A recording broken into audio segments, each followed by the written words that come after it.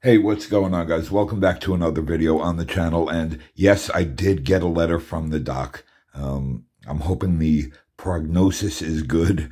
And uh, I, how can it how can it be bad? Uh, the doc sent me a, a, letter. The doc, he's uh, I don't think he he doesn't make content, but he's uh, he's always out there lurking around in the comment section. And uh, the doc seems like a cool dude. He really does. And uh, I don't know. Uh, I, this is a surprising piece of mail here, so I don't know what's in it. So let's open this sucker up and see what the doc uh, sent. See what the doc was kind enough to send, surprisingly. I have no clue what's in here. So let's uh let's open her up, take a look, and uh see what the doc has sent.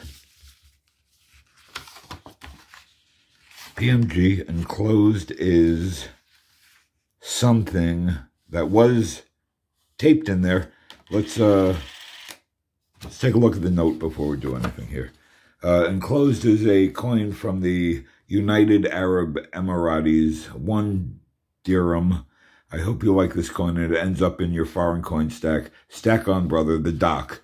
P.S. The coin was recently bought back from the UAE by a coworker that visited Dubai. Okay, so uh, we got a uh, United Arab Emirates, one dirham, one dirham, something. Let's take a uh, let's take a quick look at it. I have no knowledge of these coins uh, offhand.